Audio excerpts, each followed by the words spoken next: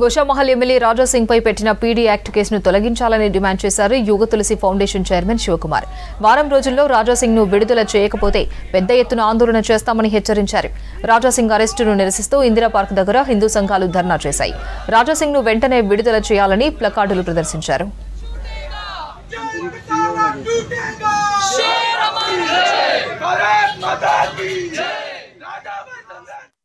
నలభై రోజులు కావస్తున్నది PD act ఎవరిపైన పెట్టాలో ఎవరిపైన పెట్టకూడదో అనే విషయాన్ని కూడా ఆలోచించకుండా ఒక ప్రజాప్రతినిధి ఒక మతాన్ని ఒక వ్యక్తి వచ్చి కించపరుస్తుంటే వాటిని ఖండించాల్సిపోయి వాటిని ఆపాల్సినటువంటి ఈ ప్రభుత్వం వాటికి పర్మిషన్ ఇచ్చి అన్యాయంగా రాజాసింగ్ గారిని జైలుకి పంపించడాన్ని నిరసిస్తూ ఈరోజు యుగ తులసి ఫౌండేషన్ మరియు అనేక హిందూ సంస్థలు ఆధ్వర్యంలో ఇందిరా పార్క్ వద్ద మహా నిరసన దీక్ష కార్యక్రమానికి ఈరోజు పొద్దున్నుంచి దీక్ష చేస్తున్నాం.